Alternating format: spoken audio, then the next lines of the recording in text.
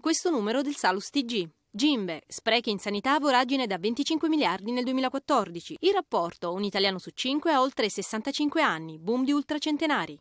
Nel 2030 i disturbi mentali saranno le malattie più frequenti al mondo.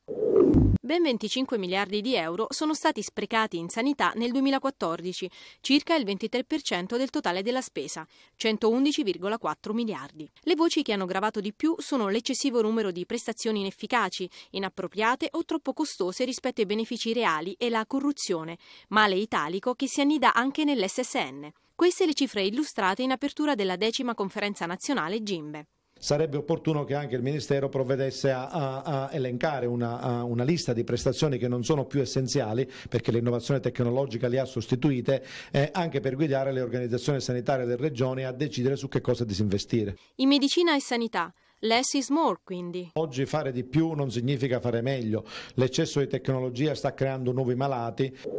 Oltre un connazionale su cinque ha più di 65 anni i giovani anziani tra i 65 e i 74 anni sono oltre 6 milioni, pari al 10,6% della popolazione residente. Si conferma poi il boom degli ultracentenari. Sono molto più che raddoppiati nel periodo 2002-2013, passando da poco più di 6.100 nel 2002 a oltre 16.390 nel 2013. E di questi l'83% sono donne. È quanto emerge dalla dodicesima edizione del rapporto Osserva Salute.